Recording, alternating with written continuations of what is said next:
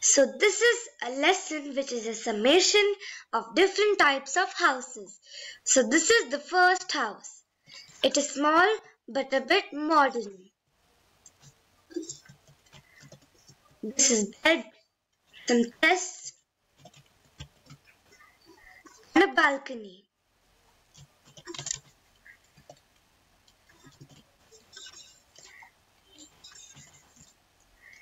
And this is a swimming pool attached to the house. This is a big, big house having a swimming pool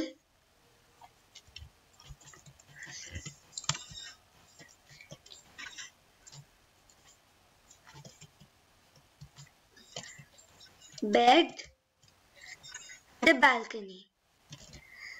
Then the third house. This is a type of a bungalow having a swimming pool, a kitchen, a play area, first floor, a balcony, and a place to relax.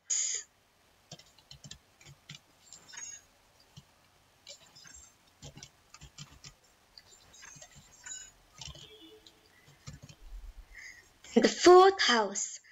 It's a bit lavish type of house. It has a big swimming pool around it. There are some fishes here. To the dining table.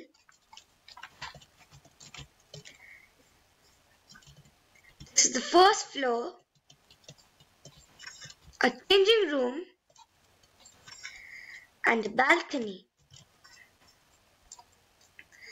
And this is a small hut.